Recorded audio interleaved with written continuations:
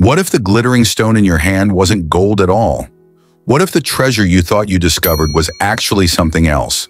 A mineral that has tricked miners, explorers, and treasure hunters for centuries. That mineral is pyrite. Known across the world as fool's gold, pyrite looks almost identical to real gold at first glance. It sparkles in the sunlight, shines with a golden luster, and excites anyone who dreams of finding hidden riches. But here's the truth. Pyrite is not gold, and yet this mineral carries its own fascinating story.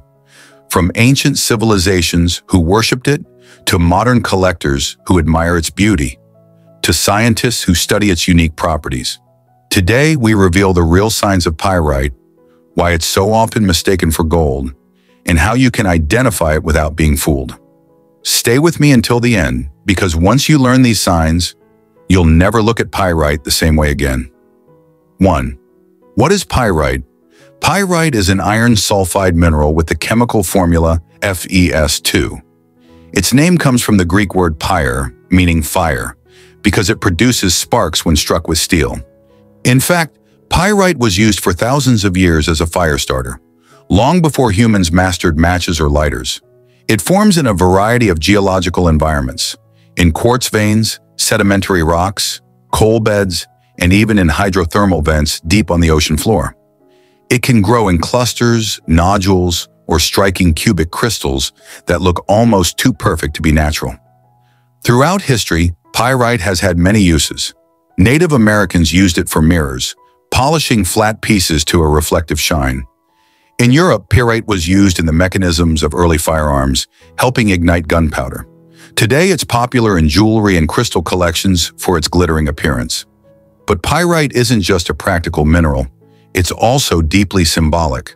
For some cultures, it represented the sun, fire, and even life itself. For others, it was a stone of protection, carried as a shield against harm.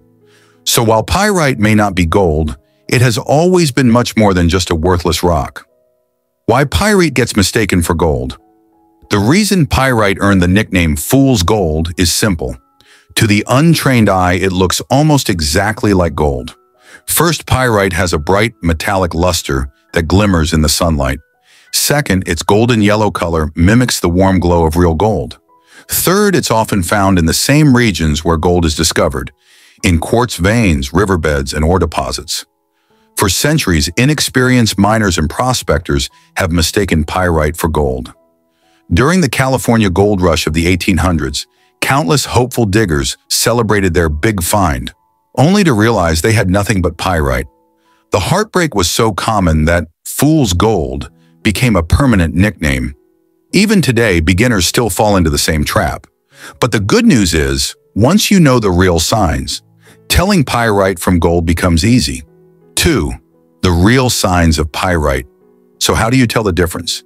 Here are the true signs of pyrite that every collector and enthusiast should know.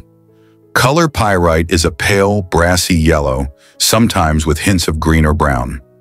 Real gold, on the other hand, has a richer, deeper golden tone. When placed side by side, gold's color is warmer, while pyrite looks more metallic. Shape pyrite often forms sharp angular crystals, cubes, octahedrons, or even pyritohedrons with flat faces and edges. Gold rarely forms crystals like this. Instead, gold appears in smooth, irregular nuggets or flakes. If your gold looks too geometric, it's probably pyrite. Hardness pyrite is harder than gold. On the Mohs hardness scale, pyrite measures 6 to 6.5, meaning it can scratch glass. Gold, by contrast, is very soft at 2.5 to 3 and can be scratched with a simple copper coin. If your stone scratches glass, it's pyrite, not gold. Density. This is one of the easiest tests. Gold is extremely dense, about 19.3 grams per cubic centimeter. Pyrite is much lighter, only around 5 grams per cubic centimeter. If two stones are the same size, the one that feels dramatically heavier is gold. Streak test. The streak test never lies. Scratch pyrite on unglazed porcelain, and it leaves a greenish-black streak. Gold, however, leaves a bright golden yellow streak. This test alone can separate the two instantly. brittleness versus malleability. Pyrite is brittle and will shatter or crumble if struck with a hammer. Gold is malleable. It bends, flattens, or shapes without breaking. Early miners quickly learned this distinction. Put all these signs together and you can identify pyrite with absolute certainty. Cultural and spiritual value. Even though pyrite isn't gold, it's far from worthless. In fact, pyrite has fascinated humans for thousands of years. In ancient South America, the Incas polished pyrite into mirrors and used them in rituals, believing the reflective surface could connect them with spiritual realms. In medieval Europe, pyrite was believed to ward off danger and illness. Today, in the world of metaphysical healing, pyrite is considered a stone of protection and abundance. It is thought to shield against negative energy, boost confidence, and inspire creativity. Some even call it the stone of hidden wealth, not because it's gold, but because it encourages people to find value in unexpected places. Collectors treasure pyrite for its crystal forms, sharp golden cubes and clusters that look almost artificial in their perfection.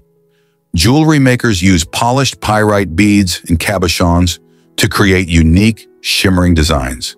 So while pyrite may have disappointed gold seekers, it has always been a stone of wonder and mystery. 4. Why it matters, pyrite versus gold. Now you might be asking, why does it matter if a stone is gold or pyrite? For one, it prevents disappointment and scams. Many fake gold nuggets sold online are nothing more than pyrite. By knowing the difference, you protect yourself and your money. Second, pyrite can actually lead you to real gold. In geology, pyrite is known as a gold indicator mineral. Gold often forms in the same environments as pyrite, so finding pyrite in a deposit can sometimes signal that real gold is nearby. Finally, pyrite teaches us an important lesson. Value isn't always what it seems. A stone doesn't have to be gold to be extraordinary. Pyrite, with its fire, history, and unique beauty, has its own kind of worth. So the next time you see a sparkling golden stone in the sunlight and wonder, did I just find treasure? Pause for a moment Check the color. Look at the shape. Try the streak test. It might not be gold, it might not make you rich, but it might be pyrite, the glittering mineral that fooled the world, yet still carries its own mystery, beauty, and story. Because sometimes the real treasure isn't wealth, it's knowledge.